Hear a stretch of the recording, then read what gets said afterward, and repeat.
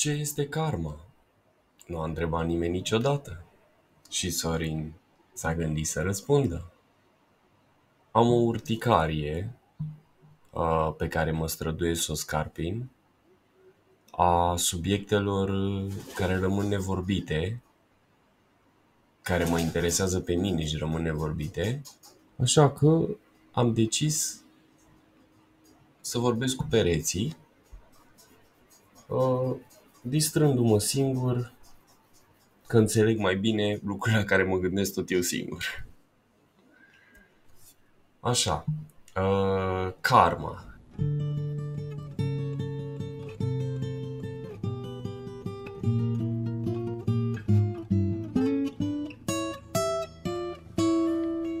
If I could save time in a bottle, the first thing that I like to do is to save every day till eternity passes away, just to spend them with you.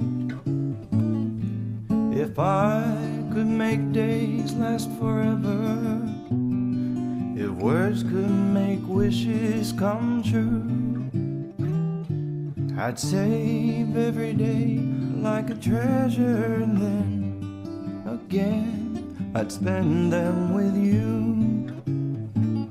But there never seems to be enough time to do the things you wanna do once you find the Karma. Toată ideea pornește de la această intuiție pe care am avut-o la un moment dat când eram la formare, formare în psihoterapie integrativă și am vorbit despre transfer și contratransfer, iar atunci am făcut o legătură între ce înseamnă între karma și transfer și contratransfer ca fiind similare sau descriind același fenomen ce se întâmplă în uh, relaționarea dintre două persoane. Și uh, eu am scris un post pe Facebook de care sunt mândru. Cred că am surprins exact esența ceea ce am intuit, dar nu am apucat să spun tot și să descriu destul, așa că mă voi uita puțin pe acel post înainte de asta definiția uh, karmei și a, a transferului. Um, eu sunt un adept al lui Jung, uh, cum este și la modă, de fapt, în ziua de astăzi. Nu am ce să fac decât să mă înscriu un trend atunci când vine din inimă. Uh, iar trendul uh, spune, adică Jung spune că transferul presupune dezvăluirea complexelor tale în fața cuiva, el descrie transferul în uh, cadrul relației terapeutice, atunci când uh, pacientul își dezvăluie complexele în fața terapeutului, investindu-l pe acesta, pentru că i-a dezvăluit care complexele, le numește Jung, sunt uh, coordonatele dezvoltării unei persoane, ca și cum i-aș înmâna terapeutului harta dezvoltării mele emoționale. Uh, nu emoționale, ci psihice. Emoționale doar o uh, fațetă.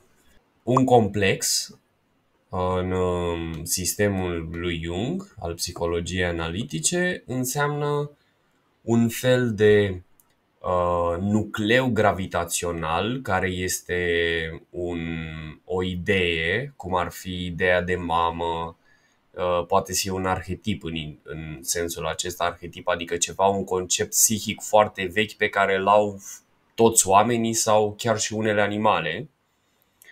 Uh, deci în jurul ideii de mamă, în funcție de um, felul uh, de istoria vieții mele, în jurul ideii de mamă se adună diferite idei care îi dau forma mea unică, ce înțeleg eu anume prin mamă în funcție de ce mi s-a întâmplat, ce relaționare am avut cu mama, ce relaționare am avut cu alte mame ale altor copii, ce proiectez în alții uh, ca fiind mama uh, și așa mai departe. Acela este un complex. Poate să fie un complex pe ideea de supermarket.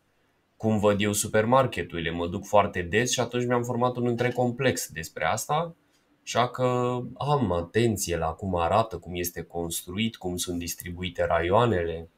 Deci acesta este complexul. Genul acesta de complex, adică nucleii uh, centrali în jurul cărora se formează personalitatea noastră, sunt ceea ce înmânăm uh, la terapie uh, analistului uh, în speranța de a ne ajuta să reglăm unii dintre ei, de a redistribui energia psihică dintr-o zonă în care uh, este foarte multă și foarte intensă, de a o redistribui în creier, în altă parte în creier, în psihic. La nivel interrelațional, eu consider că transferul se întâmplă totuși și acolo, deci fără să fie vorba neapărat de un cadru terapeutic, și anume consider că transferul se întâmplă la uh, orice contact cu uh, o persoană, uh, cu orice persoană, poate să fie cu orice persoană, dar care naște în noi dorința de a fi reflectați sau de a câștiga în fața opoziției cu care celălalt vine. Când intrăm în raport cu cineva, vedem de multe ori că ni se aprind convingerile, iar aici intrăm pe tărâmul neuroștiințelor, unde vom discuta, despre care vom discuta mai mult mai târziu. Um, uh, acel atașament pătimaș față de anumite păreri pe care le avem față de anumite subiecte, cred eu că este un act de transfer și contratransfer în ideea în care numai proiectând în celălalt și văzând dacă celălalt devine în baza proiectării noastre ocrotitor sau opozant al complexului nostru, numai astfel se naște în noi uh, energia aceea pătimașă de apărare și împuternicire a complexului respectiv. Aici intervine karma. Karma este descrisă Ă, este un cuvânt care înseamnă în sanscrită acțiune, dar felul în care e descrisă se referă mai mult la un rezidu, la un fel de efect ca un ecou ce se produce în urma unei acțiuni, dar care are legătură cu uh, intenția sau cu starea mentală și emoțională, starea spirituală a actorului, a persoanei care face acțiunea respectivă. De aceea, dacă uh, karma este și pozitivă și negativă. De aceea, dacă faci un lucru bun uh, pentru cineva, ajuns pe cineva și uh, prin starea emoțională, mentală la care ai ajuns tu, nu aștepți nimic în schimb sau o faci doar pentru că îți face ție plăcere, cumva te-ai construit în acest fel, atunci de acea acțiune se atașează karma pozitivă. Um, din ce înțeleg eu. Uh, iar uh, dacă ceva presupune o acțiune este făcută doar ca să se ajungă la alt scop sau um, a, a, se nasc multe conflicte în urma acțiunii respective sau acțiunea este făcută dintr-o zonă de încrâncenare, de durere, de furie, de tristețe. În cazurile acestea, uh, acțiunea va și genera un ecou de aceeași rezonanță, de aceeași frecvență, care va fi karma negativă. Să mă așez mai confortabil.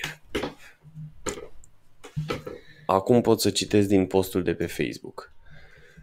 În ultima vreme, așa am zis eu, ambele indică spre acea atmosferă. Așa.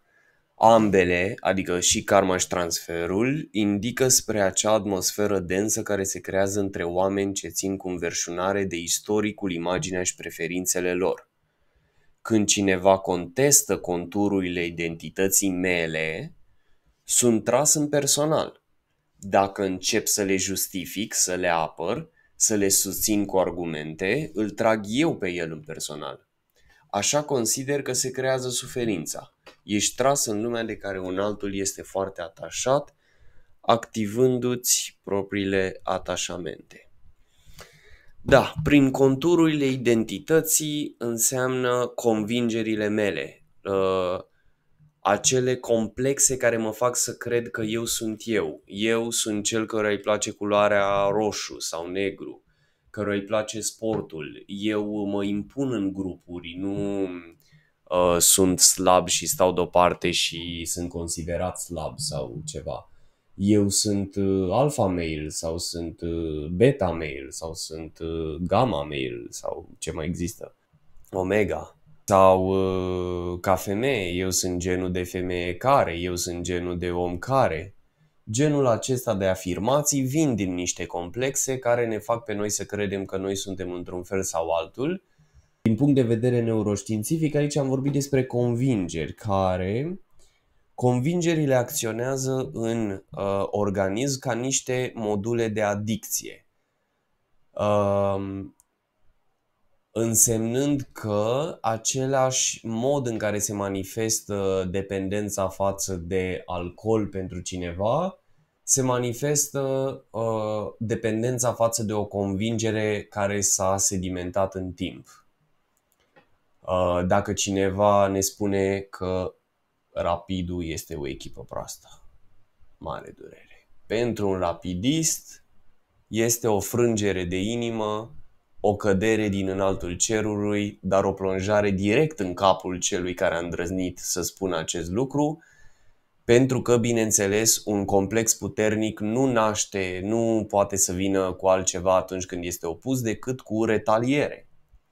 Și o retaliere pătimașă. Când aceste contururi au fost provocate în celălalt, când rapidistul a fost contestat din interlocutor, din interlocutorul meu, atunci um, amândoi începem să producem un fel de karma interrelațională. Noi aveam deja karma noastră personală, fiecare pe acel subiect sau poate doar unul dintre noi. Poate eu care l-am contestat pe el ca rapidist, am karma de a fi valoros, uh, de a nu găsi valoarea și a trebui să-i contest pe ceilalți ca să-mi găsesc eu valoarea. Sunt mulți oameni care își găsesc valoarea din a Um, ataca complexele celorlalți. Mai ales când uh, convingerile puternice, nu foarte puternice, nu sunt specifice uh, oamenilor cu o minte mai deschisă, tocmai că se închid într-o lume din ce în ce mai mică, formată din cât mai puține complexe, dar foarte puternice și atunci știu că îl pot contesta ușor pentru că pot să vin din exterior cu lucruri pe care lumea lui nu le cunoaște, din exterior cumva, să-l atac cu argumente subversive.